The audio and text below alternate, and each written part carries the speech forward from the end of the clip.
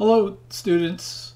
In this video I will review how to utilize modules in our class. Now we have to access the modules using the course navigation menu. We click on the modules link and we'll have several modules available. So the, mo the modules are the backbone to our class and we need to use the dates at the top of each module to guide us. Now I typically, you could always look at the topic and jump ahead or or look at an assessment or a discussion and directly jump to that location. Uh, it all depends on where you're at in the class. But typically you always you may want to begin the module with the home page. So if you click on the home page, what you should see is a schedule that's displayed. And this schedule is what's going to guide you in terms of the topics that need to be covered. So we can see that on this particular day, we need to cover these topics. These topics are, these are the notes. These are links to the notes. You could either click on these links directly, or in this case, since we're on, I'm in the first day of the module, what I'm going to do is click on next, and that's going to take us to the first set of notes. And what you want to do is to read through the notes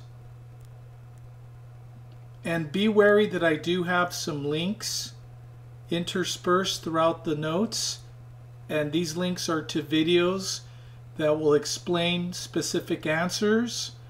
I also have some practice problem. There, in this case, there's one, but in certain sections, I'll have several practice problems.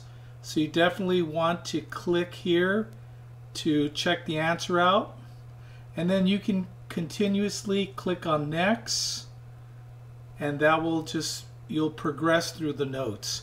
Now, as soon as you complete the notes, you want to start the homework, which is done in Connect Math.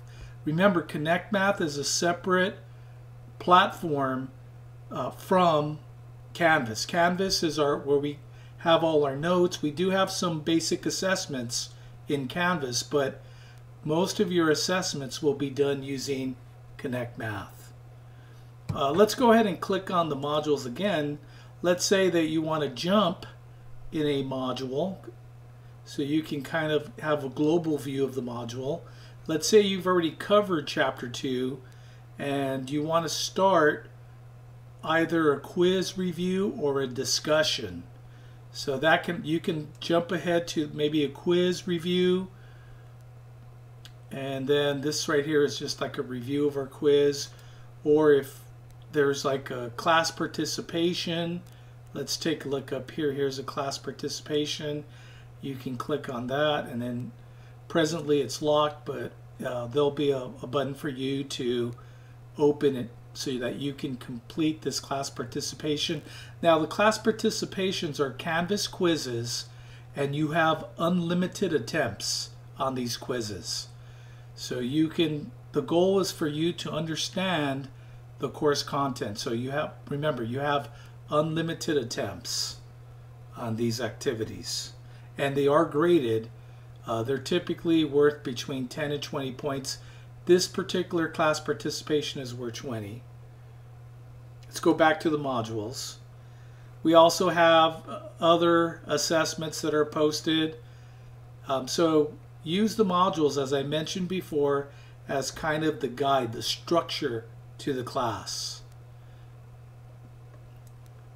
And uh, thanks for watching. Also, before uh, I end this video, I just want to mention at the very bottom, so we have, the way it's organized is we have the home page, we have the course content, I have any type of reviews for that week, typically reviews for a quiz or a test. Then I have a any type of discussions or any other work such as class participations that you must complete in that module. And then finally at the very end I have different videos. So if you click here, you'll have access to the videos for that particular module. These are all videos that are posted in YouTube. So that concludes the video um, and I hope that helps elaborate how you will utilize modules in our class. Thanks for watching the video.